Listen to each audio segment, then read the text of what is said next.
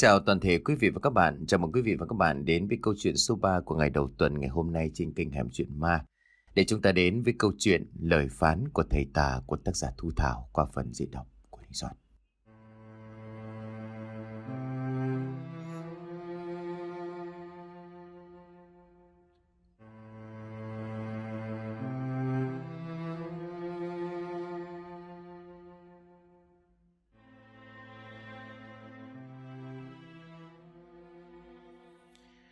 Cái tính hiếu sát thích máu me của hắn đã tỏ lộ rõ ràng hai lần, đúng hai lần duy nhất. Lần đầu tiên là khi hắn còn rất nhỏ, đi theo đám trẻ chân trâu ở trong làng cốc này ra ruộng. Bọn trẻ nhỏ dùng những cái giỏ tre đan bằng tay, uốn lại thành hình để đi bắt ếch. Mùa mưa những con ếch to ếch nhỏ nhảy loi choi khắp cả cánh đồng. Chẳng cần dùng đèn dùng đuốc mà chúng vẫn có thể dễ dàng bắt được. Thời ấy ruộng đồng còn hoang sơ hơn bây giờ rất nhiều, cho nên những giống ếch nhái chảo chuộc hay cả tôm cua còn rất nhiều. Tưởng chừng chỉ cần thò tay xuống nước là bắt ngay được. Hắn khi đó vẫn còn là một đứa bé mới lên 10, nhưng cũng là một tay bắt ếch cực kỳ lão luyện. Trong giò của nó lúc nào cũng đầy những ếch, những cua số lượng lúc nào cũng gấp đôi gấp ba của người khác. Thế nhưng chỉ có điều thằng bé đó không giống như bọn trẻ, đang chạy khắp cánh đồng kia. Nghĩa là nó không bắt ếch về chỉ cốt để ăn, mà còn để làm những trò tiêu khiển. Những con ếch trong giò cũng như đám trẻ chăn trâu, nào biết được cái lý do thúc đẩy phía sau, làm cho nó thích bắt được nhiều ếch thế nào. Chúng vô tư lắm chỉ trừ có hắn. Những con ếch khi nó bắt được sẽ một phần để đem bán ra ngoài chợ. Ấy là những con to béo, thân thể nhẵn bóng, và cái mồm mở to kêu ồm ộp.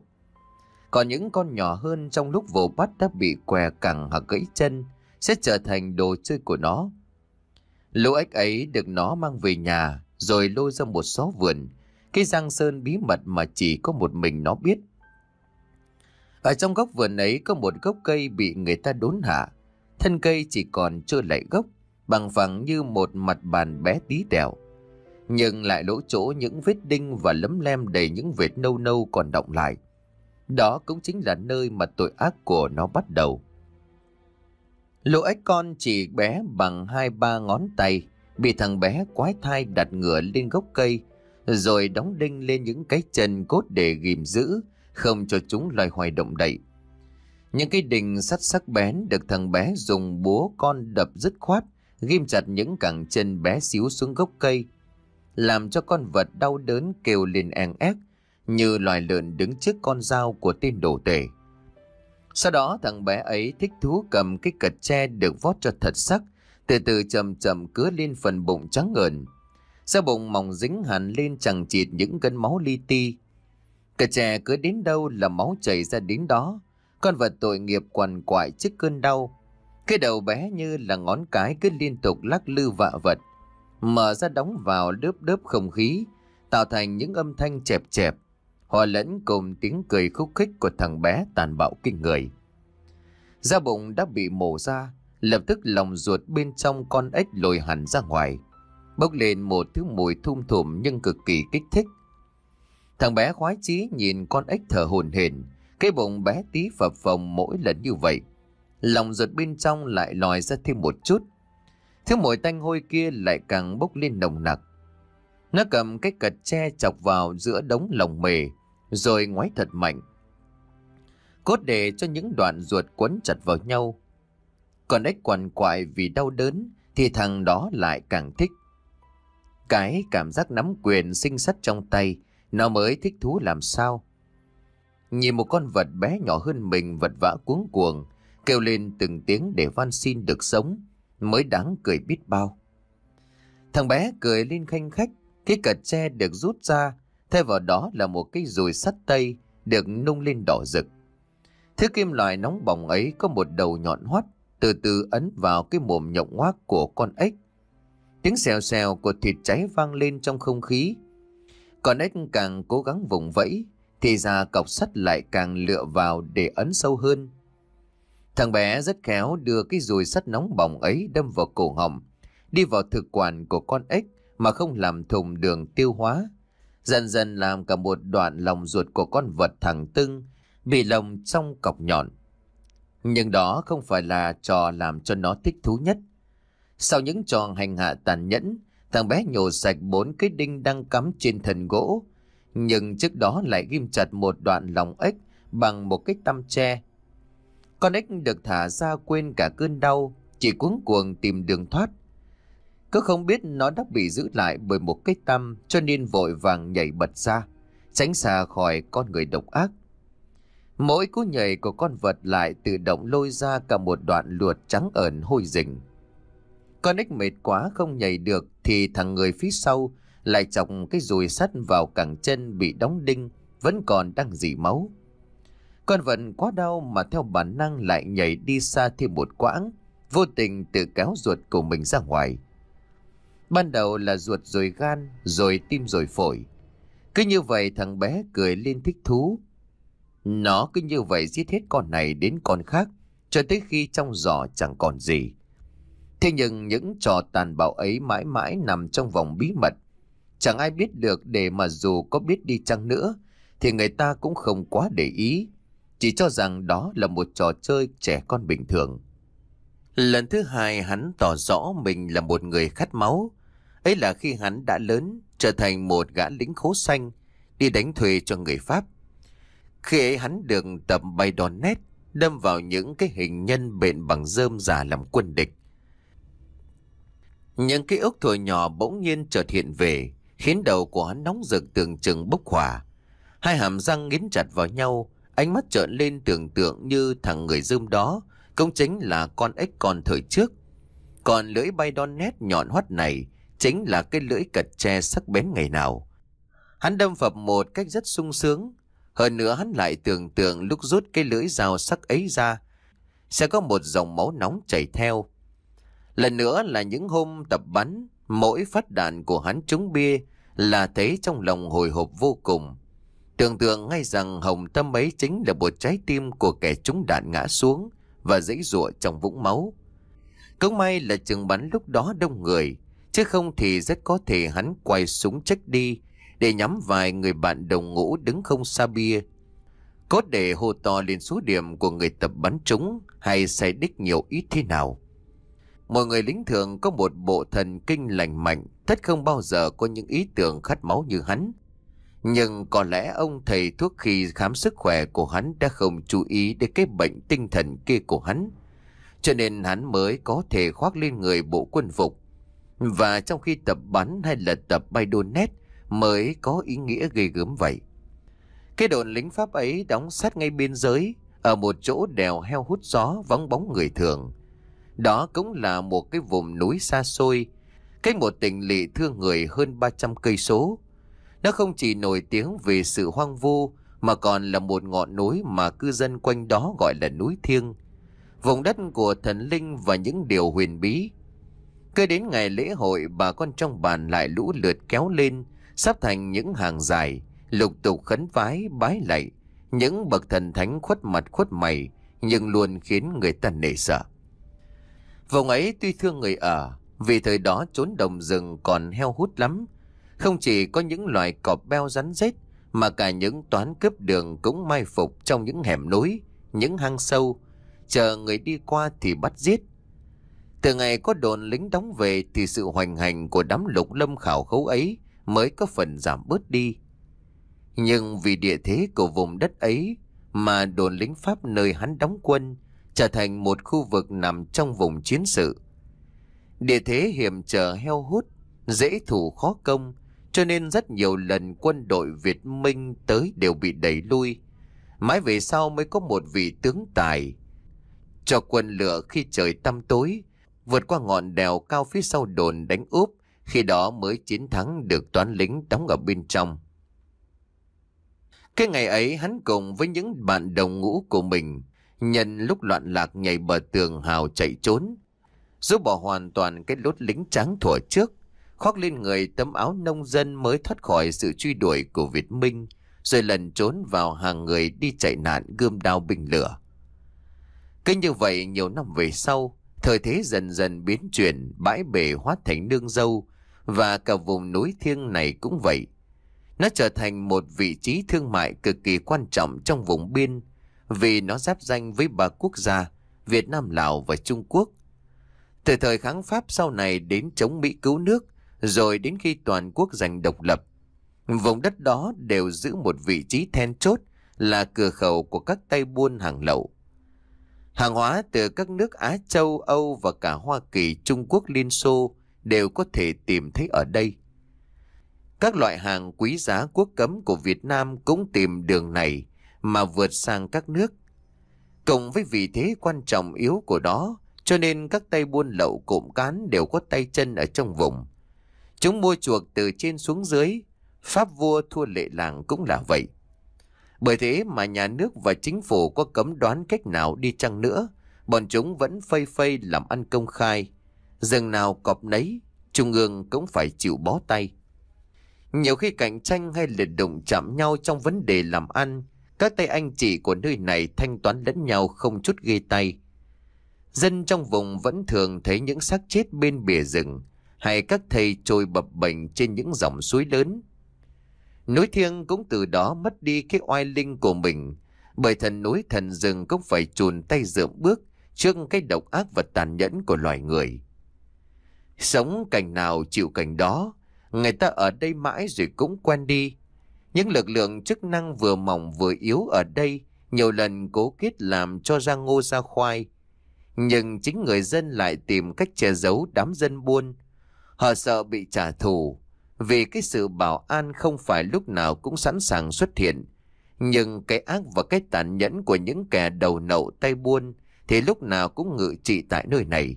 Trở thành một thế lực bí hiểm không có quyền pháp nào xử lý nổi. Nhưng cũng thật lòng mà nói cũng nhờ việc buôn lậu qua cửa ngõ trong vùng núi thiêng mà dân tình trở nên khấm khá. Họ dựa hơi vào đám dân buôn để mà sinh sống. Người thì mở quán ăn, kẻ thì làm ra quán nhậu. Người sống bằng nghề đổi chắc hay là dắt mối chỉ đường. Có những kẻ còn to gan mở cả động nuôi gái nhảy, khách khứa cũng toàn đám tay chân, hoặc đàn anh đàn chị cộm cán. Nhiều số má chứ chẳng phải là hạng bình thường. Cuộc sống ở đây lúc nào cũng náo nhiệt ồn đã, trái hẳn với sự yên lành của các tỉnh xung quanh. Tất cả cứ như vậy vừa vặn trở thành một vòng tuần hoàn móc nối lẫn nhau. Chính bởi vì thế mà cũng phải tỏ ra bất lực. Dân chúng vùng này gồm người Việt, người Hoa và rất nhiều người Việt gốc Lào. Những người Lào này đa số sống ở các bản của họ, cũng như các làng của người Việt. Nhưng cũng có một số người sống lẫn lộn với người Việt ta. Vào một mùa đông năm 1980, một biến cố chấn động xảy ra ở trong vùng. Chỉ trong vòn vẹn có ba tuần lễ đã có ba cô gái trẻ bị giết chết một cách cực kỳ bí hiểm. Nạn nhân đều còn rất trẻ. Họ mới chỉ là những cô gái đôi mươi. Người ít tuổi nhất năm nay mới lên 16. Tất cả đều là những cô gái có mặt trong vùng này từ trước Người là con cái của dân bản, có cô chỉ là những vũ nữ, gái ăn xương phục vụ trong những quán nhậu hoặc động điếm trên đường mòn. Khám nghiệm những xác chết, các bác sĩ pháp y cho biết nạn nhân đều chết do một phương thức cực kỳ tàn nhẫn. Trên thi thể của ba người đặc biệt là ở bàn tay và cẳng chân đều có dấu hiệu của những lỗ thủng không lớn lắm. Kích thước đường kính chỉ vòn vẹn chưa đến nửa phân vì dính đầy dì xét. Cách đó không xa ở cổ tay hay mắt cá là những làn dây thường hiện lên rõ rệt. Từ đó người ta mới ước đoán rằng các nạn nhân trước khi chết đã bị kẻ thù ác trói chặt chân tay, thậm chí còn bị đóng đinh để ghim lại, không để họ loay hoay vùng vẫy. Các thi thể của những cô gái trẻ này đều bị mổ bụng, bên trong không còn nội tạng, Lòng ruột dạ dày tim phổi đều bị moi cả ra ngoài. Chỉ còn lại một khoang bụng trống không. Ngoài ra trên cổ các thi thể đều có một vết chém rất sâu, nhưng không quá lớn, độ rộng chừng một đốt ngón tay cắt ngang động mạch. Nạn nhân có thể chết vì mất máu quá nhiều, hoặc là vì nỗi đau đớn khủng khiếp khi bị mổ bụng moi gan, lôi nội tạng ra ngoài. Điều khiến cho các bác sĩ pháp y và công an thắc mắc là dù nạn nhân chết vì lý do nào đi chăng nữa, nhưng hiện tại trường lại không có nhiều máu vãi ra. và cũng không có nội tạng. Chứng tỏ người chết đã bị hành quyết dã man ở một địa điểm khác rồi mới bị kẻ thủ ác lôi xác đến đây. Họ kết luận rằng thủ phạm của cả ba vụ việc kinh hoàng này chỉ một người và hắn đã lấy máu và nội tạng của nạn nhân để phục vụ cho một mục đích bí hiểm nào đó mà cơ quan chức năng chưa thể hiểu nổi. Thời ấy người ta đặt tên cho vụ án này với bí số là 03, những cái xác không còn nội tạng. Thi thể đầu tiên được tìm thấy là một cô gái trẻ, năm nay vừa tròn 18, là con gái của một gia đình làm nhà hàng trong vùng. Bình thường cô gái nọ vẫn đi chợ hoặc chơi bời cùng bạn bè cho đến 6-7 giờ tối là đã có mặt tại nhà. Nhưng hôm ấy bố mẹ của cô chờ mãi không thích cô về ăn cơm. Nhưng hàng quán lại đông khách đông bàn, cho nên cả hai người đành phải nhờ nhân viên trông hộ. Còn mình thì lục tục đi tìm. Cả hai đèo nhau trên chiếc xe thì bành bạch chạy trên con đường mòn tối tăm vắng lặng, ngắt ngang giữa một quãng rừng thưa. Cả hai đèo nhau trên chiếc xe bành bạch chạy trên con đường mòn tối tăm vắng lặng, vắt ngang qua một quãng rừng thưa, nơi mà con gái của họ vẫn thường đi chợ. Đến một đoạn rừng khuất vào một lối rẽ, người đàn ông choáng váng nhìn thấy lùm xùm sau bụi cây là chiếc xe đạp màu xanh mà con gái của ông thường dùng đi chợ. Cái xe nằm đó trong giỏ vẫn còn túi thịt đã bị kiến đen bâu kín, nhưng xung quanh vắng lặng không có một bóng người. Hai ông bà gào đến rắt cả cổ bỏng cả hầu, mà chỉ có những tiếng vang của khu rừng khuya vọng lại. Hai người tìm kiếm khắp nơi, nhưng cô gái trẻ kia vẫn bật vô âm tín. Tuyệt vọng cả hai đành trở về nhà, gọi thêm người trở lại khu rừng vắng ấy. Cả toán gần hai chục thanh niên lẫn người già nhưng lặn lội cả đêm cũng trở về tay trắng. Khi ấy đã có cả công an và kiểm lâm cùng tham gia tìm kiếm. Nhưng sau bao nỗ lực, đám người cũng đành thất vọng trở về. Ba ngày sau cây xác được tìm thấy, nhưng là một điều nó chỉ cách chỗ cái xe đạp bị bỏ rơi chưa đầy hai chục mét, giấu trong một bụi cây. Người ta phát hiện ra vì mùi thối nồng nặc và ruồi nhặng bâu đen kín mít. Cái xác thứ hai là của cô gái làm nghề phục vụ bàn trong quán nhậu. Cô gái nọ vẫn còn trẻ, học hết lớp 8 trường làng. Cô bỏ quê theo chân chúng bạn lên vùng này kiếm sống, vì nghe nói nơi đây dễ kiếm tiền. Có lẽ sẽ có cơ hội giúp cô đổi đời, hoặc ít ra cũng có tiền gửi về cho bà nuôi thằng em ăn học đàng hoàng. Lên đến đây thì cô làm hết nghề này sang nghề khác, từ rửa bát ô xin, đến giờ chuyển sang nghề phục vụ bàn trong quán nhậu. Vừa tròn 16 vào cái tuổi đẹp nhất của đời con gái, nhưng người ta đã thấy xác cô nằm bên một gò mà hoang trong nghĩa địa. Thi thể cứng đờ chân tay dạng ra thành hình chữ X. Khuôn mặt tái xanh bợt nhạt vì bị rút cạn máu, nhưng vẫn in đậm nỗi kinh hoàng gây sợ. Kẻ thù ác ra tay lúc này tàn bạo hơn lần trước. Trên thi thể của người chết chi chít những vết đánh bằng thắt lưng hoặc là bằng dây thừng, chẳng chịt vắt ngang trên lưng, trên bụng, trên mặt. Có lẽ cô gái đã chống cự vô cùng quyết liệt, đến nỗi gãy đến cả ba bốn bóng tay và hàm răng bị thiếu đi hai chiếc. Hậu quả của cơn nóng giận của tiên giết người tàn bạo. Cây xác bị ném ở một gò mả hoang, bụng phơi ra lõa lộ với hai gò ngực tròn đầy, nhưng in hẳn những dấu răng cắn cho nát bấy. Trong khoang bụng của cô gái, cũng như nạn nhân đầu tiên, lòng ruột và nội tạng đều bị moi sạch.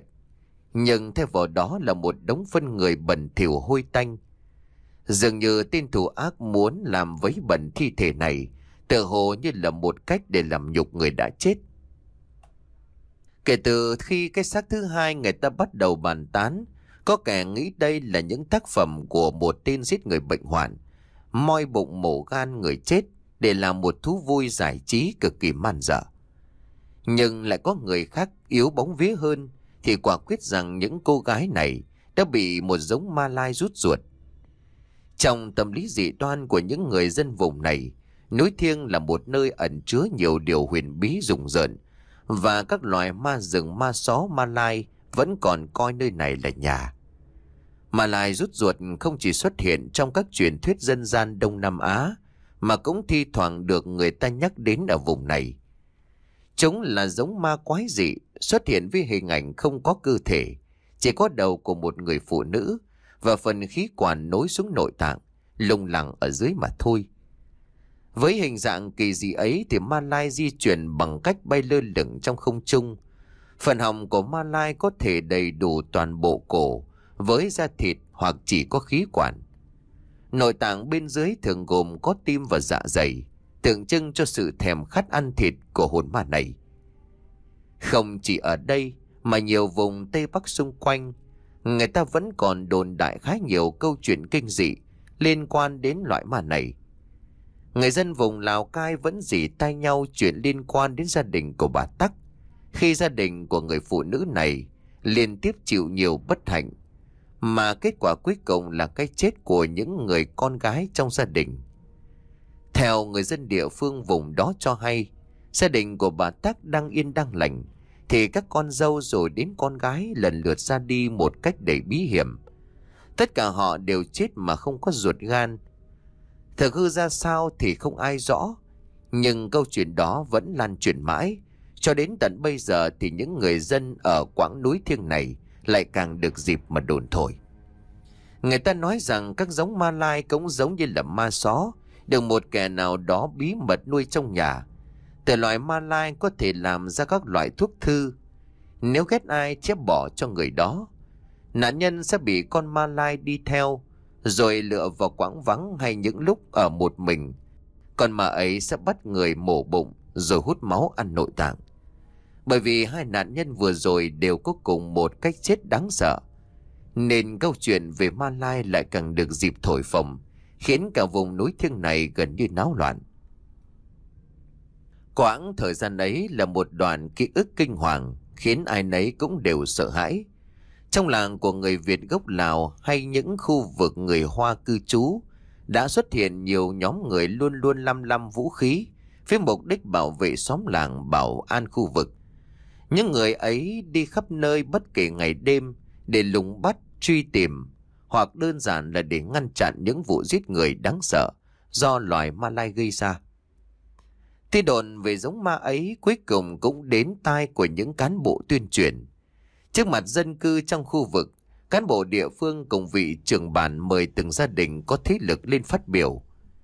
Đương nhiên, ngay trong phòng họp của ủy ban, họ không dám nói ra những điều trong lòng úy kỵ, vì e ngại cán bộ cho rằng họ mi tín dị đoan. Nghe hết những lời kể của từng nhà, người cán bộ tuyên truyền đi truyền dần lên bụng.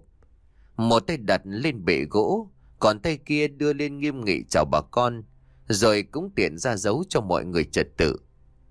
Sau khi đợi cho đám đông ổn định, người cán bộ ôn tồn nói. Tôi biết anh chị em bà con vẫn còn nhiều điều khúc mắc chưa dám nói lên trước chính quyền địa phương. Tôi rất thông cảm và hiểu cho anh chị em bà con. Lời nói của người cán bộ bị cắt ngang bởi một người đàn bà, tóc tai rũ rượi, kéo tung cửa phòng. Nước mắt nước mũi chảy chăn hòa trên đôi gò má.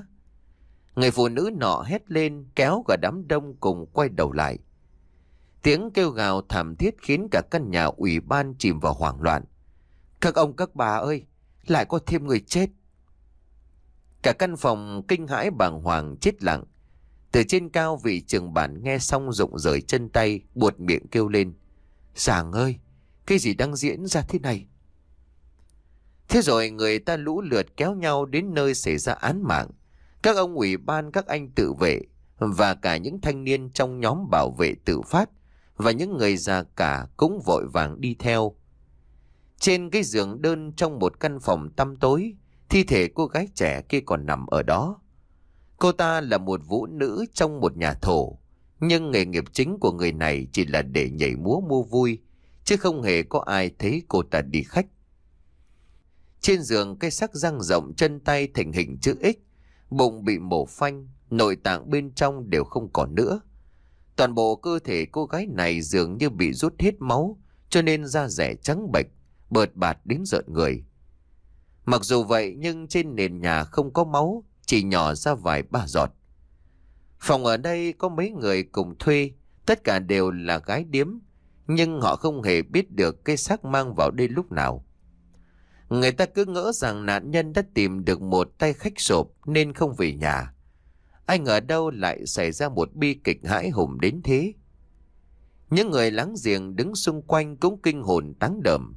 Nhiều người yếu bóng vía không chịu được cảnh tượng gây sợ đang hiện lên trước mắt, thì đã phải vội vàng chạy ra ngoài, lấy tay che miệng mà nôn thốc nôn tháo. Kể từ đó đi đâu người ta cũng nghe tiếng đọc kinh cầu khấn xen vào cả những lời gì dầm bàn tán nghi ngờ kinh hãi. Những người cha người mẹ nhốt chặt những đứa bé ở trong nhà. Thậm chí đi đâu họ cũng mang theo súng săn mã tấu để phòng thân. Người ta cũng ít đến thăm nhau vào buổi tối. Có đi đâu cũng tụm năm tụm ba, kéo đàn kéo lũ chứ chẳng ai dám ló đầu ra khỏi cửa mỗi khi trời đổ về chiều. Sự kinh hoàng phủ kín cả một dải rừng thiêng rộng lớn. Để chấn an người dân bản xứ, các cán bộ phải trực tiếp tham gia, tổ chức từng nhóm tuần canh. Cứ năm người một thủ sẵn giao kiếm, đi dọc theo bản làng để bảo vệ trị an. Những gia đình ngư phủ người kinh cũng đóng chặt cửa, không dám kéo vó đêm vì lo phải hiến thân cho rừng núi thần sông Hà Bá.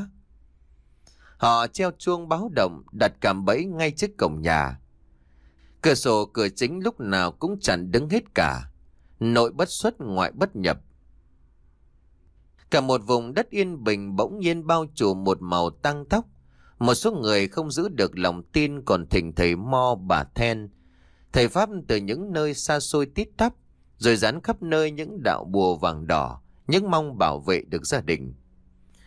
Những người theo đạo Phật cũng gõ mõ tụng kinh, xì sụp khấn vái để ông bà có sống khôn thắc thiêng hiện về để phù hộ. Những nỗ lực bảo vệ chị an dường như chẳng đem lại kết quả gì, ngoài một bầu không khí tăng tóc rợn người, và những nghi ngờ bùng lên giữa những người còn sống. Những gia đình vốn dĩ nhiều thù oán đã bắt đầu thổi bùng lên những tin đồn. Họ cho rằng địch thủ của mình đã thư ếm, đã dùng ma lai để gây nên những sự kiện hãi hùng kinh dị. Đã có nhiều vụ đánh nhau xuất phát từ những nghi ngờ. Các cán bộ, những người dân còn giữ trong lòng của mình sự tỉnh táo, phải vất vả lắm mới ngăn được sự kiện bất ngờ như vậy. Nhưng khi người ta còn chưa điều tra thêm được manh mối gì, thì thảm kịch kinh hoàng lại một lần nữa diễn ra. Lại thêm một cô gái trẻ nữa mất mạng với thủ đoạn không khác gì trước đó. Công an phải cử thêm người để điều tra sự vụ. Các nhà có con gái ít tuổi đều nơm nớp lo âu. Chỉ sợ một ngày đứa con gái của mình nuôi nấng bấy lâu trở thành nạn nhân của giống ma lai rút ruột. Nhưng dĩ nhiên các cán bộ đầu nghĩ đến chuyện quỷ ma. Họ đoán quyết rằng chỉ xuất phát từ lòng bàn tay của con người. Là tác phẩm kinh hoàng của một tên biến thái. Tên sát nhân có vẻ như quen thuộc vùng này Hắn nắm vững địa thế địa hình, nên dù mọi người có đề phòng kỹ đến đâu, chỉ trong hai tuần nữa lại có thêm nạn nhân xấu số, tuổi mới chỉ 13 mất tích và bị giết một cách dã man kinh khủng. Tình trạng trở nên cực kỳ căng thẳng, công an địa phương thực sự bó tay với những vụ việc bất ngờ diễn ra vô cùng dồn dập như vậy. Vì vậy mà họ đã phải nhờ sự giúp đỡ từ công an tỉnh, Lực lượng được cử đến hiện trường bao gồm 4 người, hai người là bác sĩ pháp y với rất nhiều kinh nghiệm. Từ ngày thống nhất đất nước đến nay đã trực tiếp xử lý hàng chục vụ án lớn nhỏ, đều tìm ra lời giải. Hai người còn lại đều là điều tra viên. Họ không chỉ có kinh nghiệm mà còn là lính cựu, có tài bắn súng thiên xạ bách phát bách trúng. Những thế võ đả hổ giết châu và dĩ nhiên là lối tư duy đặc biệt được rèn rũa qua nhiều năm thi pháp luật. Từ những vụ án nghiêm trọng xảy ra tại đây, an ninh càng trở nên thắt chặt.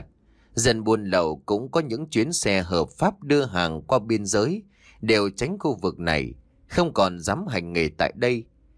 Những người làm việc đúng pháp luật thì sợ mình vô tình dính líu đến những vụ án kinh thiên động địa này. Còn những kẻ lục lâm thảo khấu, những tay anh chị cũng coi đây là một vùng đất giữ. Ở lại chỉ tổ trở thành đích nhắm cho lực lượng công an. Không chóng thì trời cũng làm lộ đường dây để rồi bị bắt. Họ chẳng dại gì đứng ra để làm bia đỡ đạn. Dù những tay đầu gấu đầu mèo có là hạng người nào đi chăng nữa. Họ chẳng dạy gì mà đứng ra làm bia đỡ đạn, dù những tay đầu gấu đầu mèo có hạng người nào đi chăng nữa, thì với họ việc giết chóc thế này vẫn vô cùng gây sợ. Họ không bao giờ muốn tham gia. Các băng đảng trong vùng dù muốn thủ tiêu ai, thì cách làm vẫn luôn kín kẽ, chứ không thực hiện những hành động lộ liễu và đáng sợ như vậy. Hai điều tra viên là Lâm và Bảo. Cả hai năm nay ngoài 40, trên khuôn mặt hiện đã rõ nên những thăng trầm thời thế, và dĩ nhiên là cả sự lạnh lùng sắt đá của những người lính trinh sát dày dặn kinh nghiệm. Họ tổ chức họp mặt các gia đình của các nạn nhân, những người có liên quan mật thiết để lấy lời khai và đối chiếu lại thêm lần nữa. Thông báo rộng rãi để nhờ quần chúng nhân dân hợp sức phá án. Sức mạnh là từ nhân dân mà ra, điều đó ai cũng hiểu. Và người dân dù tốt hay không thì cũng mong mọi việc sớm giải quyết để đời sống trở lại bình thường. Bởi vậy mà họ cũng trở nên sông sáo nỗ lực tham gia phá án.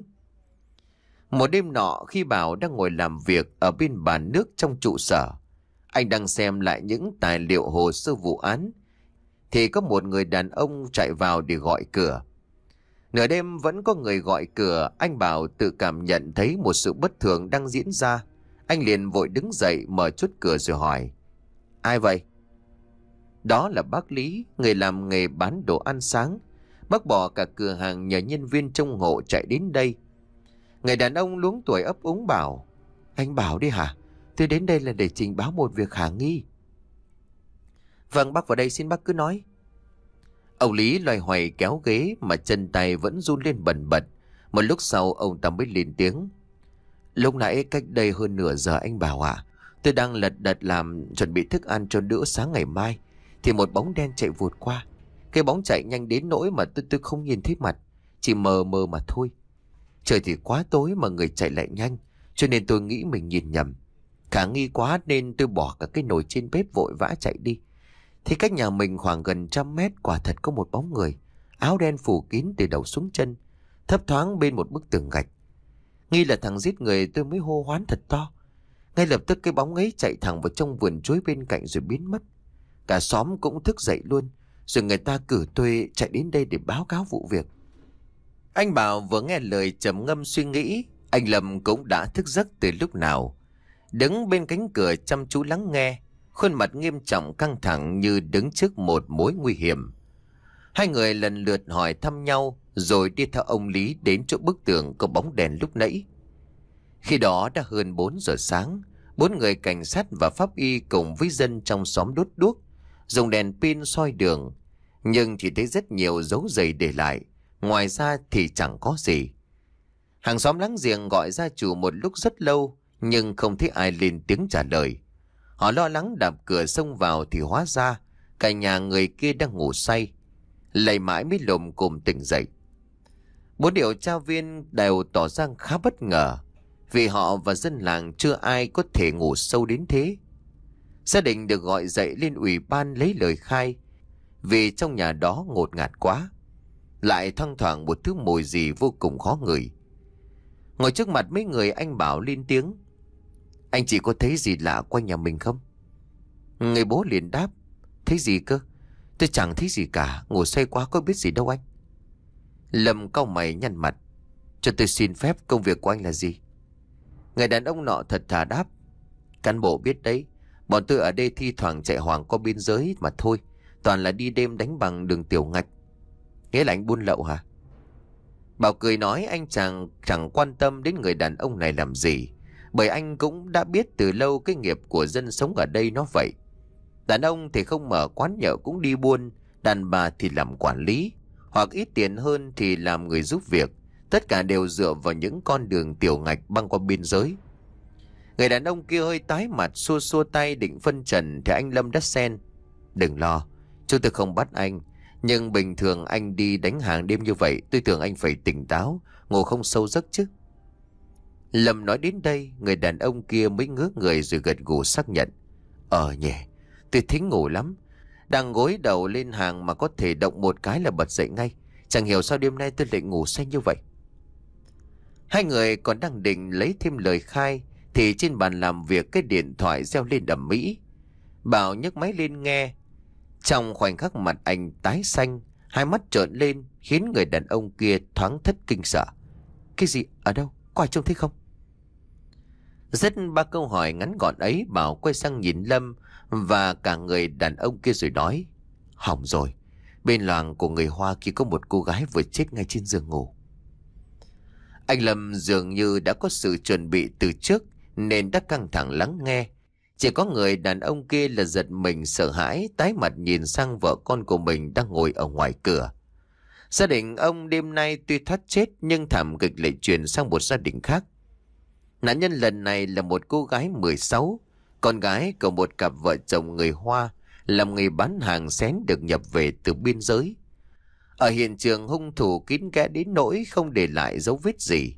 Mà người nhà của cô gái nọ cũng khai rằng đang ngủ say không biết động tĩnh gì cả. Mấy người láng giềng khi được lấy lời khai thì có một người đàn bà hàng xóm kể lại rằng sáng sớm lúc khoảng 4 giờ bà có nghe tiếng lợn kêu ở trong chuồng. Ngỡ có kẻ nào ăn trộm bà mới lật đật chạy ra xem thì thấy một bóng đen từ trong căn nhà kế bên bước ra. Bà trông thấy nó, nó không những không đi mà còn trừng mắt tiến lại phía bà, khiến cho bà sợ hãi gần như chết đứng tại chỗ.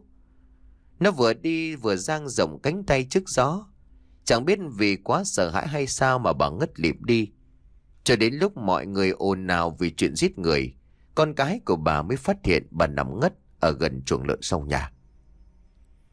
Câu chuyện của người đàn bà kia khiến bốn người đều thấy hơi ngờ vực. Họ cho rằng bà già kia cố tình bị chuyện thổi phồng sự huyền bí của kẻ sát nhân. Lâm liền hỏi, bà có nhớ kẻ lạ mặt đó không? Bà già lắc đầu, lúc ý trời nhá nhem tối, mà tôi già rồi, mặt mũi có thấy được gì đâu.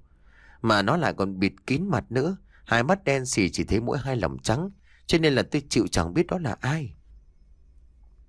Lâm cúi xuống lắc đầu thở dài, thì bà lão kia ngẩn ra một hồi rồi lên tiếng. Mà nó có cái mùi gì đó lạ lắm cậu ạ, rất là khó người. Chắc là mùi ma lai, mùi của người chết đấy chứ chẳng sai được đâu. Sợ lắm, người thấy mùi ấy xong mà tôi phát khiếp lăn đùng ra luôn. Ở hiện trường các cán bộ điều tra không thu được kết quả gì, nhưng họ cũng ngửi thấy một thứ mùi khá lạ, thoang thoảng như là hương trầm nhưng lại rất đau đầu. Chỉ loang thoáng không khí mà khiến người ta nhức mũi gần như choáng váng. Mùi gì đấy anh biết không? Lâm hỏi Toàn một trong hai nhân viên pháp y. Anh Toàn câu mày phe phẩy hai tay rồi đứng ngược lại với chiều gió, rồi nhăn mặt lắc đầu. Mùi này là mùi thuốc gây mê. Thuốc gây mê, anh có chắc không à? Mùi ê te hả? Bà đứng ngay đó che tay lên mặt để tránh người thứ mùi đang tỏa ra không khí. Không phải là ê te, đây là một loại thuốc gây mê cổ điển, dùng các loại thảo mộc để làm chất dẫn. Khi đốt lên sẽ có mùi lạ như thế này. Nó được chiết xuất chủ yếu là từ rễ của cây hoàng lan đế. Đứng bên cạnh anh Toàn là bác sĩ Lương, người vừa lên tiếng. Hai người là Bảo và Lâm cùng quay đầu lại nhìn, trong khi bác sĩ Toàn gật gù xác nhận. Bác sĩ Lương tiếp. Không phải ai cũng biết đến loại thuốc này. Hoàng lan đế có tên như vậy, nhưng nó không phải là một loại hoa lan hay là cây lan. Đó là một loại giống thân cỏ, có tác dụng giảm đau, an thần, có vị đắng được những người dân tộc Mạn Vân Nam sử dụng rất nhiều để chữa những chứng như là đau răng đau bụng. Uống đủ liều thì giảm đau, tăng liều thì buồn ngủ, nhưng mà không gây chết người bao giờ, cho nên thuốc này rất an toàn. Chỉ có điều là khi phơi khô tán nhuyễn rồi trộn thêm các thành phần khác, nó sẽ thành một loại chất gây mê rất hữu dụng, tác động mạnh đến cứu giác của nạn nhân. Lâm nghi hoặc nói xen. Chẳng lẽ vì vậy mà cả gia đình ở làng bên lại ngủ say như vậy? Hàng xóm hô hoán cũng không ai biết. Rồi cả đến nhà hai vợ chồng người Hoa kia nữa. Họ họ bị đánh thuốc mê sao hả? Bảo lại thêm. Kẻ tình nghi bịt mặt kín mít. Bà già kia nói như vậy trước khi ngất ra đất. Nhưng mà tại sao hắn lại không có giết bà ta để diệt khẩu? Hắn tự tin đến thế hay sao? Chẳng lẽ trong vùng này chưa ai nhìn thấy hắn? Câu hỏi ấy làm cho cả đội lắc đầu im lặng. Họ đã đi nhiều nơi, hỏi cặn kẽ nhiều người về những kẻ lạ mặt quanh đây. Nhưng thật ra hỏi thế cũng như là xã tràng xe cát. Ở đây là vùng biên giới lắm người nhiều xe. Giờ này có bớt nhưng mà lượng người qua lại đây rất đông. Lào, tàu ta đâu có thiếu gì. Làm sao người ta để ý tất cả những kẻ lạ mặt đến đây làm ăn buôn bán? Câu chuyện từ đó lại rơi vào bế tắc, không thể tiến thêm được bước nào, vì kẻ thù ác cực kỳ gian xảo. Lại nắm rõ địa hình vùng này như lòng bàn tay, dễ dàng qua mặt những người làm công vụ.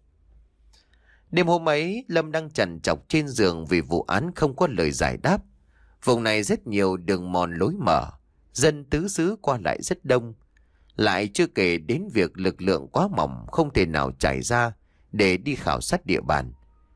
Tên giết người vẫn cứ nhờn nhơ ngoài vòng pháp luật, khiến anh không sao có thể chợp mắt. Trời khuya nhưng mà thanh vắng chỉ có tiếng côn trùng giả dích kêu quanh trụ sở. Nhưng bỗng nhiên anh giật mình, bàng hoàng ngồi nhỏm dậy, nghiêng đầu lắng tai nghe.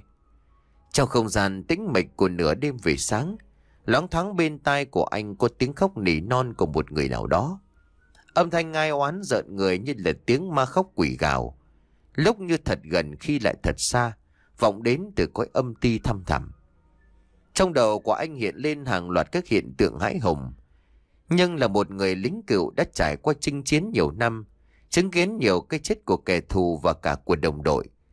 Anh những tưởng bản thân của mình đã chai sạn, trái tim không còn run sợ trước những vụ án tầm thường.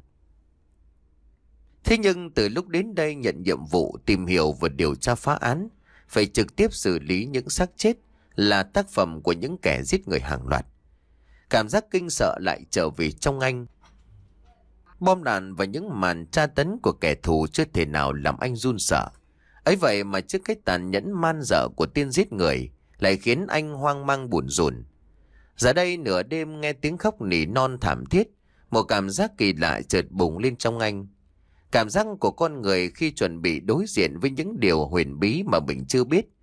Những chuyện phao truyền kỳ dị thăm thẳm trong chốn rừng sâu. Âm thanh ai oán vẫn cứ vang lên văng vẳng không đứt. Nhưng dường như chỉ có một mình anh nghe thấy. Trên những chiếc giường kê sắt bên cạnh, đồng đội của anh vẫn ngủ vùi, không một ai biết được những chuyện kỳ quái đang diễn ra. Tiếng khóc ấy như một lời mời gọi, thúc giục anh ngồi dậy khỏi giường, đi chậm chậm ra phía cửa. Bên ngoài trời đã khuya, sương trắng ken dày, phủ trùm lên cảnh vật. Núi rừng Tây Bắc dù đã giữa mùa hè hay cả trong những lúc trời đông, vẫn luôn bị cái lạnh lẽo tiêu điều bao phủ. Người anh khẽ run rẩy đôi tay trần không vũ khí chậm chậm xiết lại thành nắm đấm, mà mồ hôi lạnh vẫn cứ túa ra. Âm thanh kia vẫn vang lên không dứt. Lúc thì ở trước mặt khi lại ở sau lưng, cảm tưởng như là bốn phía xung quanh anh đều bao trùm tử khí. Trong màn sưng âm u khói phủ, bỗng nhiên anh cảm thấy một bóng người đang lần khuất khi mở khi tỏ. Cái bóng ấy đứng khuất trong một lùm cây, cơ thể như là run lên vì lạnh. Anh thoáng một chút lo sợ nhưng bản năng của một người lính cựu không cho phép anh sợ hãi chùn chân. Bởi thế cho nên anh lao tới toan đuổi đến cái bóng đang đứng ở góc tối. Nhưng rõ ràng khoảnh khắc giữa anh và người đó vô cùng gần, chỉ cách nhau chưa đầy hai chục mét mà thôi. Mà anh đuổi mãi không sao theo kịp. Anh đi chậm kẻ đó cũng đi chậm, anh tiến nhanh thì kẻ đó cũng lao đi vùn vút. Lúc nào khoảng cách giữa hai người cũng tầm hai chục bước chân. Chẳng mấy chốc mà anh đã ra khỏi khuôn viên của trụ sở, lầm lối bước trên con đường mòn nhảy nhụa đất. Cái lạnh dùng mình của miền đông biên viễn, thấm ướt cả hai vai, làm cho anh run rẩy toàn thân vì giá rét. Bóng người trước mặt của anh là một cô gái. Anh có thể nhìn thấy mái tóc xõa dài ngang lưng và thân hình mảnh mai yểu điệu theo từng nhịp bước. Anh không thể nào nhìn rõ mặt của cô gái kia vì lúc nào cũng ở phía sau. Không vượt lên nổi phía trước. Anh cố đuổi theo rất lâu nhưng không được. Đến một đoạn rừng thưa anh thấm mệt phải dừng lại thở. Thì thấy người con gái nọ cũng đứng yên. Anh hồn hển lên tiếng hỏi. Cô là ai? Tại sao lại dẫn tôi ra đây? Tiếng khóc từ nãy đến giờ vẫn vang lên không dứt. Bỗng đột nhiên im bặt và cô gái trước mặt của anh đột nhiên quay phắt lại. Làn da trắng bạch tường chừng có thể nhìn thấy cả những mạch máu vằn vện chạy ở bên trong, khiến đôi mắt thâm quầng trũng sâu lại, càng trở nên nổi bật. Hai con người xám xịt đục ngầu dương lên nhìn anh như muốn nuốt trọn đi hồn phách. Ở trên cần cổ trắng ngần hiện ra một vết thương vẫn đang phun ra từng tia máu đỏ, và bên dưới là một khoang bụng bị mổ phanh, lòng ruột đều chảy cả ra ngoài. Cảnh tượng hãi hùng khiến anh gần như tắt thở. Anh đã nhìn thấy người chết rất nhiều lần và cả những cái xác do tên đồ tể kia gây nên. Nhưng việc trông thấy một cảnh tượng như thế này là một điều hoàn toàn xa lạ, vượt xa trí tưởng tượng của anh. Lâm còn đang bàng hoàng kinh sợ, thì từ phía cô gái kia cất lên một giọng nói buồn thảm u sầu. Trả oán cho tôi, anh cán bộ ơi! Từng âm thanh thảm não cứ cất lên như là xé tan màn đêm thanh vắng. Không gian tự nhiên đặc quánh đến khó thở. Cả tiếng chim rừng thú núi kiếm ăn đêm cũng gần như im bặt để làm nổi bật lên tiếng nói của oan hồn. Trước mặt của anh thứ oán linh kia vẫn còn đang đứng đó, giờ một cánh tay gầy nhằng tông teo vì mất máu, chỉ vào một quãng rừng xa xăm bên cạnh. Trả oán cho tôi, anh cán bộ ơi! Lâm dùng mình kinh sợ như một kẻ mất hồn. Anh vẫn run rẩy liếc mắt nhìn theo hướng chỉ cô gái nọ. Rồi bất ngờ anh choáng váng đến dùng mình. Khi trông thấy từ phía cánh rừng tăm tối điêu linh, có một bóng người mặc áo đen gần như lẫn vào trong màn đêm tối, đang lao đến phía của mình. Giơ lên một vệt sáng loáng phản chiếu ánh trăng mờ, sắc lẹm, vùng lên rồi chém xuống. Anh kinh hãi giật mình cuống cuồng rú lên. Rồi ngã ngửa ra, hai tay che mặt vì bị tấn công quá bất ngờ. Cái gì thế? Ai hét vậy? Liên tục bên tai của anh là tiếng của ba người đồng đội đang vang lên.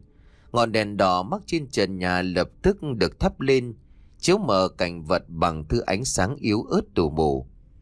Bảo, Lương và Toàn đều đang đứng xung quanh, rồi kéo Lâm đứng dậy. Bảo sốt ruột hỏi, Này, cậu sao thế hả? Có chuyện gì mà kêu ầm mỹ như thế?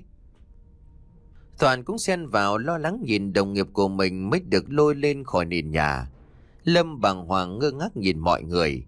Hơi thở hồn hển như vừa mới chạy đua đường trường và sống lưng của anh thì vẫn còn lạnh buốt vì kinh sợ. Đôi mắt lạc thần nhìn quanh một lúc rồi thở vào lắc đầu tự nhủ. Hóa ra chỉ là một giấc mơ. ấy thế mà tưởng mình bị người ta giết thật cơ chứ. Anh còn đang im lặng bần thần thì Lương đứng bên cạnh đắc cau mày kinh ngạc nhìn xuống đất rồi lại nhìn sang phía Lâm lạnh lùng hỏi. Này, cậu vừa đi đâu về vậy? Vừa nói Lương vừa chỉ xuống đất trên nền nhà chi chít những dấu giày bê bết bùn đất và lá mục. Đó là những dấu chân của Lâm vì giày của anh vẫn còn nguyên nhưng chất bẩn tha từ bên ngoài vào. Lâm cũng kinh ngạc chẳng kém gì các bạn. Anh trông mắt ra nhìn rồi ngơ ngác hướng đưa mắt sang phía ba người bạn. Cậu vừa đi đâu về vậy? Bảo hỏi rồi nhìn Lâm nghi hoặc. Lâm lúng túng không biết trả lời ra sao. Liên tục đưa tay lên gãi đầu rồi ấp úng mãi. Mới bắt đầu kể lại toàn bộ câu chuyện kia cho tất cả mọi người. Ba người vừa nghe nhưng bán tín bán nghi. Bà cũng là lính kiểu, anh tham chiến thậm chí còn nhiều hơn cả Lâm. Cho nên những câu chuyện tà ma xui khiến, mơ hồ mộng mị kiểu này anh chẳng tin. Đã vậy thân lại là một người cán bộ, trong đầu óc chỉ toàn là những lý luận khoa học, nên lại càng khăng khăng phủ nhận những điều Lâm vừa nói. Bảo lắc đầu cười nhạt, mà vì chẳng quỷ. Tôi năm nay gần năm chục tuổi đầu rồi đi hết từ Nam chí Bắc, sang cả Lào cả Cam, lùng pol bốt đến tận Thái Lan, mà vẫn chưa bao giờ biết mặt ngang mũi dọc con ma nó ra làm sao. Cậu đừng có mời bày cho vớ vẩn. Chắc lại xem nhiều hồ sơ quá cho nên bị ám ảnh. Chỉ lấy đâu ra ma quỷ vào cái thời đại này. Ngồi trên mép giường, toàn im lặng không nói. Nhưng bác sĩ Lương lại tỏ ra có phần tin theo. Anh nói. Đúng là chuyện mộng mị thì cũng chẳng biết đâu mà lần. Nhưng cũng có nhiều việc từ trước đến giờ khoa học không thể nào giải thích. Ý anh là sao? Anh tin được những chuyện này? Bảo câu mày nhìn Lương khẽ gắt. Công việc đã có quá nhiều vấn đề phức tạp. Giờ lại thêm câu chuyện mộng mị của Lâm. Dường như càng làm cho mọi thứ đi vào ngõ cụt. Lương thở dài nhẹ nhàng nói. Cậu không làm pháp y như bọn tớ. Có nhiều cái nói ra cậu không tin nhưng mà đúng là có thật. Tớ tin câu chuyện của Lâm. Mà đấy, cậu nhìn xem. Dấu chân của Lâm vẫn còn chi chít dưới nền nhà. Giữa nửa đêm về sáng Lâm đi đâu được chứ? Bà không trả lời được câu hỏi của bạn, anh cũng lúng túng nhìn sang phía Lâm, đang thẫn thờ đưa mắt hướng ra bên ngoài màn đêm, đang dần lùi xa, để những giọt nắng đầu ngày bắt đầu xuất hiện trên nền trời phía đông. Cậu có nhìn thấy mặt của kẻ giết người không? bà hỏi Lâm nhưng anh lắc đầu, khoảnh khắc ấy xảy ra quá đột ngột, lại vô cùng nhanh chóng rồi lập tức anh tỉnh dậy, nên không thể nào nhớ nổi khuôn mặt của tên sát thủ ra sao. Đứng bên cạnh im lặng từ nãy đến giờ bác sĩ Toàn cao mày lên tiếng. Sao chúng mình không đi theo vết chân của Lâm, biết đâu lại có được manh mối gì thì sao? Công việc điều tra đi vào bế tắc nên còn nước còn tát. Suy nghĩ một hồi cuối cùng cả ba người đều đồng ý với ý kiến của Toàn. Vẫn biết là chuyện mộng mị chẳng biết đâu mà lần. Vẫn biết rằng làm án mà tin những chuyện mê tín thế này có khi khiến cho cả bốn người bị kỷ luật. Nhưng tội phạm thì vẫn nhởn như ngoài vòng pháp luật. Rất có thể sắp tới lại có thêm nhiều người chết dưới tay của hắn. Xung quanh đây thì dân cư vẫn đang ngày ngày kiếm chuyện với nhau vì nghi ngờ lẫn nhau rằng họ bị kẻ thù chơi xấu, dùng ma lai yểm bùa thư ngải khiến người ta phải chết.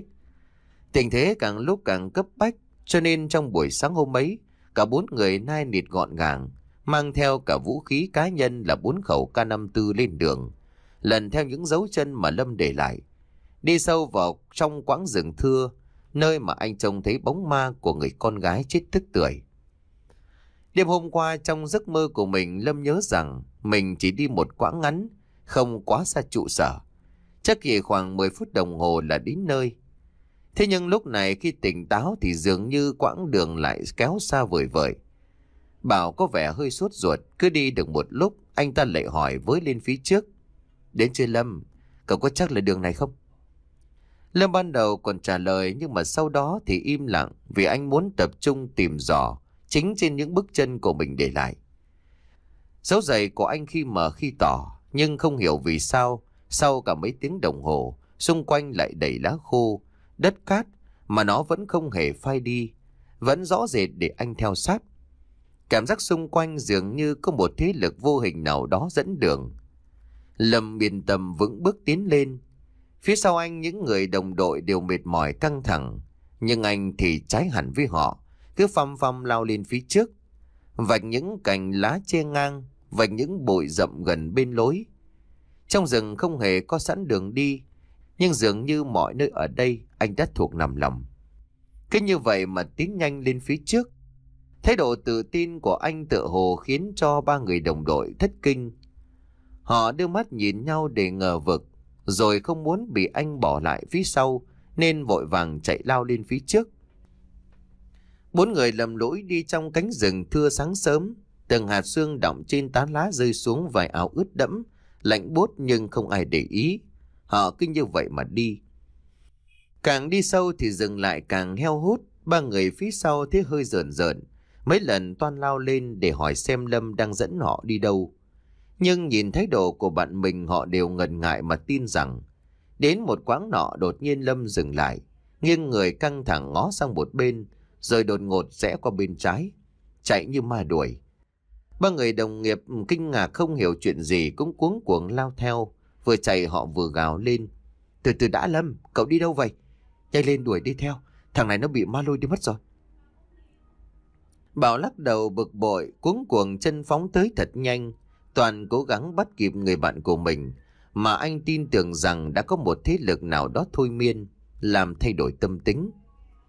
Nhưng mà khi khoảng cách giữa hai người chỉ còn lại rất ngắn, thì đột nhiên Lâm cảm thấy khựng lại. Tốc độ chạy của Bảo phía sau quá nhanh, nên quán tính lào thèo cũng lớn. Trong khoảnh khắc không thể nào kìm lại được, thì anh hút chán của mình vào lưng của bạn. Suýt nữa thì cả hai cãi nhào xuống. Bảo nóng lòng tôm lấy cổ áo của Lâm mà quát. Mẹ tin sư bố nhà ông, ông làm cái chó gì thế hả? Nhưng Bảo còn chưa dứt lời thì cánh tay của Lâm đã dơ lên chỉ về phía sau lưng của mình rồi nói. Nhìn, nhìn đi. Hai bác sĩ pháp y lúc này cũng đã tới, họ kinh ngạc đến thẫn thờ. Chỗ mắt há mồm nhìn cảnh tượng đang bày ra trước mặt. Cả bốn người gần như hóa đá hãi hùng trước cái thứ đang bày ra trước mắt của họ. Đó là một thân cây cổ thụ khổng lồ, nhưng hình như đã bị đốn hạ từ lâu, chỉ chưa lại một cây gốc cây bằng phẳng. Giữa cánh rừng hoang vắng không thiếu gì những thân cây thế này, tác phẩm của lũ lâm lạc trước đây. Chúng đốn hạ hàng loạt thân cây to, rồi bỏ lại gốc trước khi biến mất.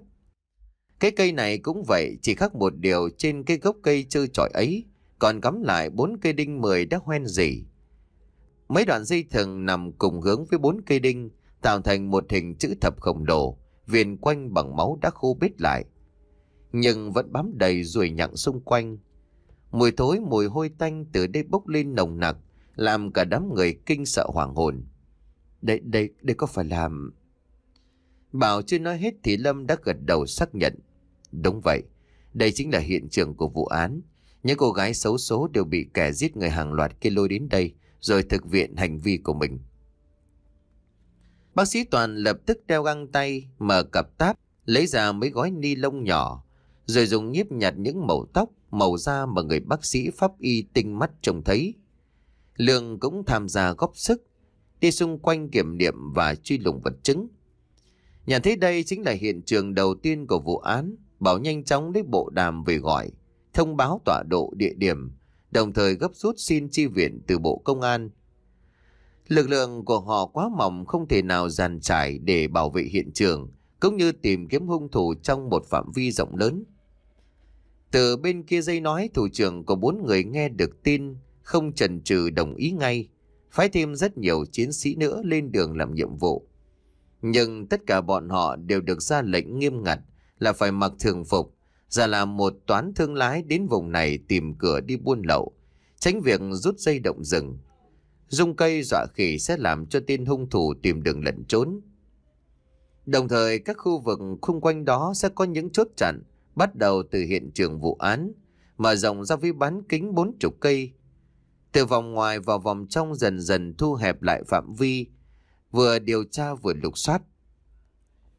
Dựa theo những vết máu thu được tại hiện trường, dựa trên những dấu tích in trên gốc cây cổ thụ và cả những xác chết được tìm thấy từ trước đến nay, các điều tra viên phát hiện ra hành vi giết người của tên hung thủ được thực hiện rất đều đặn. Cứ 10 ngày một lần hắn tìm cách sát hại một người, lấy đi nội tạng và máu của nạn nhân. Tính đến nay đã có gần chục người thiệt mạng. Kẻ giết người rất có thể sẽ thay đổi nơi thực hiện hành vi của mình vì hiện trường của vụ án đã bị điều tra. Nhưng điều đó cũng dẫn đến việc các cơ quan chức năng và người dân sống ở các địa phương gần đó rất dễ phát hiện một người lạ mặt, không rõ từ đâu đến. Từ đó mà thu hẹp phạm vi nghi phạm. Quá trình điều tra vẫn giáo diết diễn ra, bất kể đêm ngày, nhưng mặt mũi của tên can phạm vẫn nằm trong vòng bí mật. Người ta mới chỉ phát họa ra những nét chân dung bên ngoài của hắn. Vì bất cứ khi nào xuất hiện hắn đều bịt mặt, tô đen phần trán và bên ngoài mắt, lại cẩn thận khoác áo đen để dễ lẩn vào trong màn đêm thăm thẳm. Nhưng dù không có nhiều manh mối, nhưng những người làm án như Bảo Lâm cũng xác nhận rằng hắn cứ 10 ngày sẽ lại ra tay, luôn chọn thời điểm tầm 3-4 giờ sáng, khi mà người nhà đang ngủ say, rồi cẩn thận dùng hoàng lan đế đốt lên để gây mê. Sau đó lần vào trong, phá khóa bắt con gái của gia chủ để thực hiện hành vi giết người hủy xác. Nạn nhân đều là nữ từ còn rất trẻ, và theo như dự đoán của đội điều tra, những người họ đều là những cô gái còn trinh, kể cả cô vũ nữ là nạn nhân thứ ba được tìm thấy cũng vậy. Có điều gì thu hút tên giết người này ở những cô gái đồng trinh đến vậy? Bảo ngẫm nghĩ mãi về hành vi của tên giết người biến thái mà mất ăn mất ngủ. Anh không thể hiểu được vì sao hắn cần đến nội tạng và máu của họ. Khám nghiệm tử thi cho thấy, trừ nạn nhân thứ hai bị hành hạ và nhét cả những chất bẩn thỉu vào trong ổ bụng, thì hầu như các nạn nhân còn lại đều chỉ bị hắn giết và móc hết nội tạng ra ngoài. Thậm chí là cả chỗ kín của họ không hề bị xâm phạm. Chứng tỏ hắn luôn muốn giữ gìn cho cơ thể nạn nhân một cách sạch sẽ nhất. Hắn ăn thịt người hay sao? Là một tên tâm thần trốn trại hay là một kẻ cuồng tín, dùng cơ thể con người làm đồ tế phẩm cho những thứ tà thần? Bảo cứ nghĩ mãi không ra đáp số, những câu hỏi thì từ bao lâu nay vẫn quay cuồng trong đầu của anh, khiến cho anh mất ăn mất ngủ, gầy dọc hẳn người đi.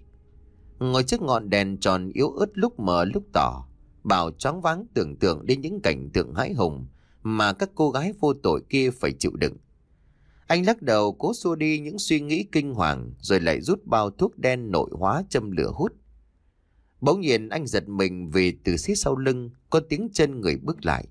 Âm thanh lồm cộp vang lên khu khan trong đêm vắng, khiến Bảo dùng mình quay ngoắt lại. Ai vậy? Bảo lên tiếng hỏi nhưng không có ai trả lời. Chỉ là tiếng chân chậm chậm bước đến gần. Lần khuất trong bóng tối, Bảo nhìn thấy một bóng người đàn ông cao lớn vừa đi khuất ra sau cánh cửa. Rõ ràng có ý đồ không tốt muốn rình mò trong trụ sở công an. Anh lập tức rút khẩu súng K54 luôn đặt trong gầm bàn, lên nòng sẵn sàng nhà đạn. Lặng người đi trong đêm tối, anh cố gắng lắng tay nghe những bước chân càng ngày càng đến gần. Khẩu súng nằm chắc trong tay mà bắn súng dính đầy mồ hôi ướt đẫm. Anh đứng dậy nép sau bức tường chuẩn bị lao ra để bắt tên nghi phạm. Trong khoảnh khắc ấy, anh xoay thật nhanh cúi người thấp, gần như là quỳ gối xuống đất, giơ khẩu súng lên phía trước, để nếu có bóp cỏ viên đạn sẽ găm ngay vào ngực của tên sát thủ. Được lại! Anh hồ lớn, nhưng trước mặt của anh, dưới một ngọn đèn bão cho lùng lẳng ở mái hiên, bóng người đó hiện lên rõ rệt. Đó là Lâm. Anh ta đang nhắm nghiền hai mắt, đôi tay buông thõng một cách dị thường. Cứ như vậy lững thững bước đi như không thể nghe thấy tiếng hô rõng rạc của Bảo. Bảo chóng váng ha hốc mồm, khẩu súng trên tay lỏng ra. Cũng may mà anh không bóp cỏ, nếu không ắt hẳn ngực của Lâm đã lĩnh ngay một viên đạn.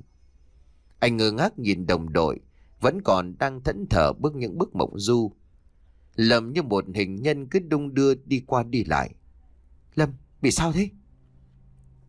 Bảo toan tiến lên vỗ mạnh tay lên vai để đánh thức bạn mình khỏi giấc chiêm bao kỳ lạ. Nhưng anh còn chưa kịp làm gì thì bỗng nhiên Lâm chỉ tay sang bên phải, hướng về quãng rừng thưa. Lập tức trong bóng tối có tiếng động lao sao của lá rừng. Bảo nhanh chóng đưa mắt nhìn theo. Chỉ trong khoảnh khắc anh đã phát hiện ra có một bóng đen vừa lao vọt ra từ trong lùm cây trước mặt. Rõ ràng hắn đã trông thấy Lâm chỉ tay về phía của mình. Sợ bị phát hiện cho nên nhanh chóng tẩu thoát. Nói thì chậm nhưng diễn biến lại cực kỳ nhanh. Khẩu K54 bảo vẫn cầm trong tay dâng lên phía trước, nhắm chuẩn mục tiêu rồi bóp cỏ. Âm thanh đình tài nhức óc của bao viên đạn nối đuôi nhau, xé tan màn đêm tăm tối. Bảo là một thiện xạ của sư đoàn lính đặc công. Ngay cả trong đêm tối thì loạt bạn ba viên của anh vẫn có thể trúng đích như thường. Khẩu súng đã gắn liền với cơ thể như một bàn tay, thuận lợi theo bản năng nhả đạn. Tiếng súng vang lên lập tức đánh thức Lâm tỉnh dậy và cả hai người đồng đội nữa nằm ngay trong dãy nhà ngang cũng dùng mình thức giấc. Ở trong thế bảo lao về bóng đêm thì cũng lao theo. Lâm lúc này đã tỉnh táo hoàn toàn. Thấy đồng đội của mình đuổi theo nghi phạm cũng ba chân bốn cẳng nối gót nhau bám sau lưng. Hắn trúng đạn rồi nhanh lên, nhanh lên, cầm sẵn đồ sơ cứu. Tiếng người suy đuổi xe nát màn đêm đánh thức cả bốn năm căn nhà gần đó bàng hoàng thức giấc. Họ đã tỉnh khi nghe tiếng súng thứ hai, nhưng giờ mới xác định được những người công an đang đuổi bắt nghi phạm. Rất nhanh sau đó thì sáu bảy bóng người nữa tay cầm gậy, tay cầm dao cũng lao theo. Lại cả có người soi đèn đốt đuốc hướng về phía cánh rừng thưa. Họ đều là những người dân trong vùng muốn trừ đi mối hại này cho bà con nên không ngán nguy hiểm mà lao theo hỏng bắt tên nghi phạm. Chỉ một lúc sau thì dân làng và bốn đồng chí công an đã bắt kịp tên nghi phạm. Hắn bị một viên đạn găm vào mảng mỡ sát sườn và một viên khác sượt qua đùi. Vết thương không quá nặng nhưng cũng làm cho hắn chạy chậm hẳn đi. Người ta lao lại cho nghiến hắn rồi lật tung lớp vải che trên mặt. Bỗng nhiên một người giật mình kêu lên. Ơ, đây, đây lão ăn mày ở đầu cầu dẫn vào núi thiêng mà. Bốn người cảnh sát đều giật mình chết lặng. Không phải họ sợ rằng mình bắn nhầm người, mà không bao giờ nghĩ đến nghi phạm là có thể là một lão ăn mày. Sơ cứu xong xuôi, nghi phạm bị đưa vào trụ sở, tới đây mọi chuyện mới được sáng tỏ. Lão ăn mày nhiều năm về trước là một tên lính khố xanh, đóng quân trong đồn Pháp ngay trong địa bàn núi Thiêng. Ở đây hắn nắm chắc địa hình địa mạo, thông thuộc đường đi đối lại như lòng bàn tay. Nhưng ngày Việt Minh tràn đến đánh úp đồn lính, quân Pháp thua cuộc, buộc các tướng lĩnh phải đầu hàng. Nhưng hắn và một số đồng đội của mình chạy thoát được vì nửa đêm đảo ngũ, Chúng lấy quần áo của mấy nhà dân quanh đó, cải trang làm người đi buôn rồi nhân lúc dối ren đảo thoát. Nhiều năm về sau hắn quay trở lại vùng này khi nơi đây đã phát triển trở thành một điểm giao thương buôn bán với cả Trung Quốc, Lào và Thái Lan. Vì thông thuộc địa hình cho nên hắn làm tay sai cho một gã đàn anh chuyên đánh hàng lậu qua biên giới. Trở thành một tên đầu sai đắc lực vì nhiều chuyến ăn hàng chót lọt. Những đường mòn lối mở chưa có ai từng đi, những ngõ ngách bí mật mà chỉ mình gã biết đến nay đã được lôi ra sử dụng. Thiên trùng vô cùng trọng dụng cấp cho hắn rất nhiều tiền của. Nhưng cũng vì thế mà hắn bắt đầu xa đà và ăn chơi nghiện ngập, gái gú không sửa khoản nào. Cho đến khi hắn biết mình mắc căn bệnh thế kỷ thì đã quá muộn. Thời ấy HIV là một chứng bệnh lạ ít người biết đến, mới chỉ được thế giới công nhận vài năm, và bất cứ ai cũng lo chứng bệnh này. Chứng bệnh quái ác đã tới thời kỳ cuối cùng, bệnh viện không thể nào chữa trị được, chỉ cố kết kéo dài sự sống cho nên đành gửi trả hắn trở lại nhà. Ông trùm đường dây buôn lậu cũng biết hắn mắc bệnh thế kỷ cho nên mục một, cho nên một mực đuổi hắn đi, vì sợ hắn có thể lây cho đồng bọn và dĩ nhiên với cả mình. Tiền thuốc thang chạy chữa cạn dần, hắn bèn sang bên kia biên giới, tự tìm cách cứu mình. Có bệnh thì phải vái cả tứ phương, hắn nhờ đến người quen tìm tới một ông thầy pháp người miên để nhờ cứu mạng. Vì tin vào những thuật bùa ngải dị thường, tên thể pháp cho hắn một bức tượng nửa thú nửa người và một đống bùa phép về thờ. Đồng thời phải phán rằng uống máu của 21 người con gái đồng trinh và mang máu đó về cúng thần thì sẽ hết bệnh. Vốn từ xưa đến nay đã là một kẻ tàn bạo điên cuồng, hồi bé từng lôi bọn cóc nhái ánh ương ra hành hạ, cho nên hắn không hề lấn cấn. Việc giết người nhưng có thể cứu sống được một mình thì tội gì gã không làm. Bởi thế mà hắn nghe lời và đã gieo tăng tóc cho gần chục cô gái trẻ, cùng với gia đình nạn nhân vì sự tin tưởng nhảm nhí của mình.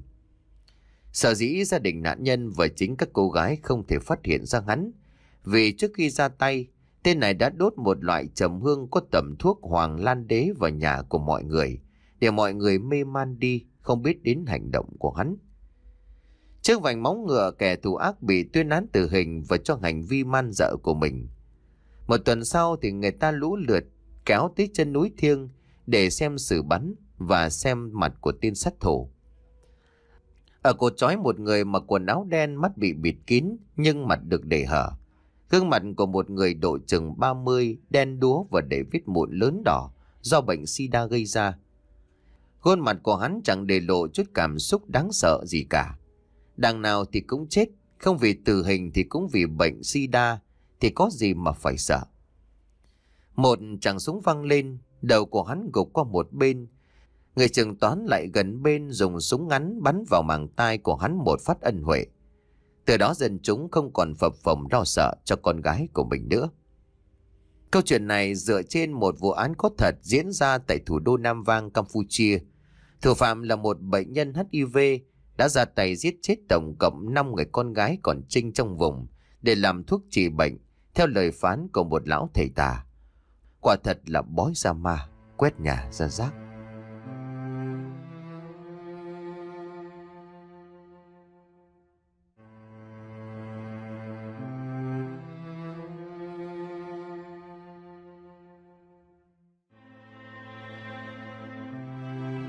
Xin cảm ơn quý khán thính giả đã chú ý đón nghe. Xin kính chào tạm biệt quý vị và xin hẹn gặp lại quý vị trong những câu chuyện tiếp theo.